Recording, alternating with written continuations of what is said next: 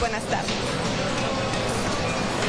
Oigan, vamos a conocer esta, la historia que debe de, pues, mantenernos con esa, pues, eh, ganas de seguir adelante y de que no hay, pues, retos imposibles de poder sortear.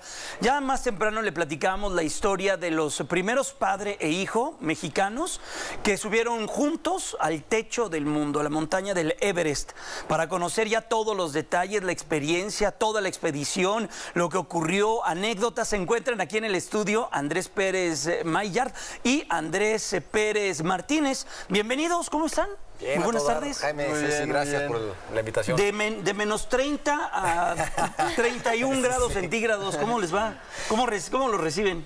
Bien, bien, ya nos hacía falta el calorcito porque estuvimos dos meses allá en el frío, entonces nos cayó de maravilla este cambio de temperatura. Oye, ¿cómo es que padre e hijo deciden eh, pues esta aventura? No entiendo. Compartir el gusto, sobre todo, no es fácil. Así Sí, es. pues mi papá me inculcó la pasión por la montaña desde que yo era chiquito. Ajá. De hecho, me llevó por primera vez a la montaña a los tres años. Me llevó a una montaña que se llama el Chitle. Y desde ahí pues, le empecé a decir, oye, llévame a otra, llévame a otra, me encantó. Y pues poco a poco fuimos subiendo las montañas de México.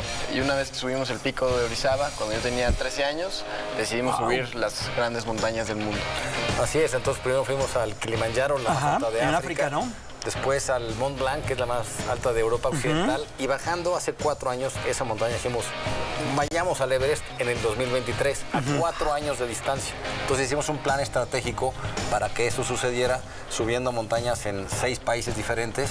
Lo cumplimos al 100% ese plan y ya llegamos a los Himalayas el 3 de abril y ahí estuvimos en esa expedición que dura dos meses porque tardas mucho en aclimatar tu cuerpo Es, a la es altura. justo lo que les quería preguntar. Todo este plan estratégico es con la finalidad de estar preparados para poder subir la montaña más alta del mundo. Así es. Eh, por una parte, para desarrollar habilidades de escalar en hielo, nieve y roca, lo- lo- los- las tres superficies eh, clave en el montañismo, y también para ir desarrollando la fuerza y condición física necesarias para subir el Everest, que es muy exigente, muy demandante físicamente. Claro. Oye, ¿qué, qué, qué se siente ya estar ahí arriba? Pues cuando yo llegué a la cima del Everest, lo primero que sentí fue como alivio. ¿A qué horas es montaña? Porque creo que tienes que levantarte de noche, ¿no? Sí. Para comenzar a caminar ese último trecho. Así es, desde el campo 4, el más alto, hacia la cumbre, empezamos a caminar a las 9 de la noche. ¿Nueve de la noche, de la para llegar? Y llegamos, yo llegué a las 10 de la mañana. Pero vi que les tocó el amanecer en el mirador. Algo así mencionaban, ¿verdad? En sus cápsulas. En el balcón. En el balcón, perdóname, en el balcón. ¿Y qué, qué, qué se siente de, de pronto ver el amanecer? Sí, pues yo estábamos subiendo y de noche pues te empiezas a estresar un poco, ya estás cansado, llevas toda la noche y de repente vimos el amanecer con una montaña que se llama el Macalu que se ve espectacular y, eh, como que me volvió a inspirar para seguir adelante, pero realmente, o sea, inspirador. Oye, ¿y cada paso qué significa? A más de 8 mil metros sobre el nivel del mar, ¿qué pasa con tu cuerpo? ¿Qué pasa con tu mente? Porque creo que la mente es la que luego, más allá de lo físico, es la que comienza a no jugar, a no tener buenas jugadas, ¿no? Con uno mismo. Sí, así es. O sea, tienes que tener una claridad mental eh, muy importante de qué es lo que quieres hacer, que, que es subir el Everest, que te apasione para que no te quedes ahí eh, cuando el cuerpo te dice ya basta. Entonces, lo que hacíamos es como poner eh, objetivos muy cortos, digamos, no sé si subo hasta el campo 3, pero hasta esa roca que está ahí, sí llego. Y una vez que llegamos a esa roca, que era lo más alto que se veía en ese momento, pues a ese montículo siguiente sí llegamos. Entonces, gracias a que vas como administrando tu mente, dividiendo cada tramo en pequeños eh, espacios, es como pudimos llegar a cada campamento. Son cuatro campamentos de subida, son cinco días en total de subida y dos o tres de bajada según el caso. Bueno, es una gran experiencia. Se vienen con el título del primer padre e hijo mexicanos en subir juntos al Everest. Pero ¿con qué se quedan? Hay cosas buenas y malas sin duda al momento de subir. Vemos lo de tu inconveniente con un dedo. Sí, trae ahí un, un problema en, en un dedo del pie. Pero ¿por qué vale la pena? ¿Por qué sí valió la pena?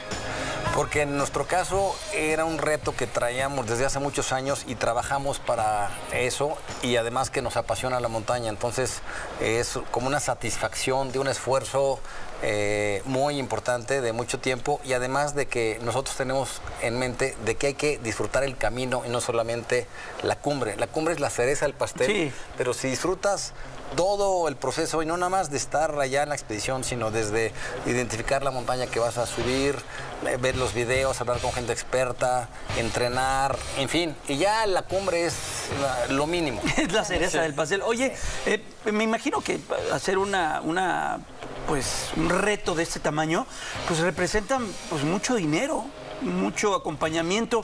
¿A quiénes o a quién le agradecen todo esto que está alrededor de ustedes? Porque ustedes son la, la para- la parte visible, pero ¿quién los apoya? Claro. Hay muchos recursos, ¿no? Sí, sí, pues le agradecemos mucho a Tajín y a Decathlon por apoyarnos en este sueño de, de toda la vida y gracias a ellos eh, nos pudimos ir y concretar eh, la meta. Oye, y rápidamente yo, a mí me queda una pregunta más. Ya cuando se consigue el Everest, ¿qué más hay? Ya es lo más alto. Así es.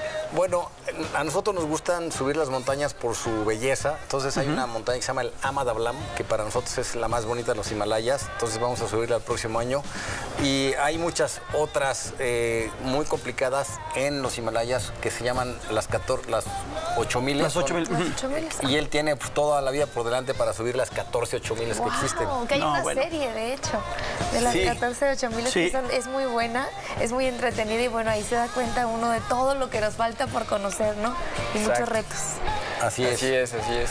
Pues qué bien, gracias Andrés Pérez y también Andrés Pérez Martínez. Es un, pues es un, una situación que lo hemos observado y lo hemos visto. Tenemos buenos amigos y amigas que han logrado esto que ustedes consiguieron.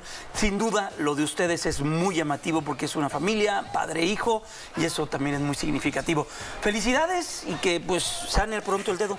Perfecto. Gracias, Jaime. ¿eh? Muchas gracias. Muchas gracias Un placer estar aquí. Gracias. Vamos contigo, Norma García. Pues sí, sigue el calor.